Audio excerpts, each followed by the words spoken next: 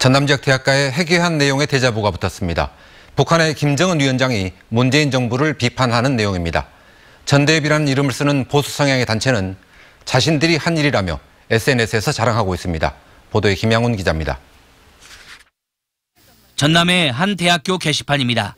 가로 55cm, 세로 80cm 크기의 대자보 두 장이 붙어 있습니다. 남조선 학생들에게 보내는 서신이라는 제목입니다. 전남 지역 8개 대학 9개소에서도 똑같은 대자보가 발견돼 경찰이 수거했습니다. 우리 게시판 붙일 때 반드시 사랑을 받아야 되는데 우리 그런 사람도 없고 아 저희는 몰랐습니다. 근데 전대협과 김정은 국무위원장 명의로 작성돼 있는 대자보는 문재인 정부의 소득 주도 성장 등을 비판하고 있습니다. 해당 단체는 최근 사회관계망 서비스에 전국 대학에 대자보를 붙이겠다고 예고하기도 했었습니다.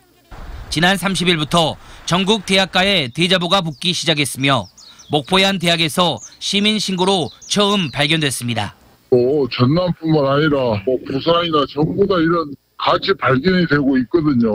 전대였고 페이스북에다가 진짜 공지를 해놓은 상황이에요. 전부 다그 대자보도 띄워놨고 경찰은 새벽 시간대 대자보가 부착된 것으로 보고 CCTV 분석 등을 통해 용의자를 확인하고 있습니다. 또 국가보안법에 저촉되는 이적 표현물 부착 혐의는 없어 보이지만 경범죄나 모욕죄, 명예훼손죄 적용 여부를 검토하고 있다고 밝혔습니다. MBC 뉴스 김양훈입니다.